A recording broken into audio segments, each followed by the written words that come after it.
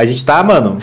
Daqui a, daqui a pouco tempo a gente vai ver o Messi aposentar, o Neymar aposentar, tá ligado? Ficar meio. Aí, vai, vamos sentir a velhice, mano, na pele. Passa, né, mano? Tudo Maneiro né, velho?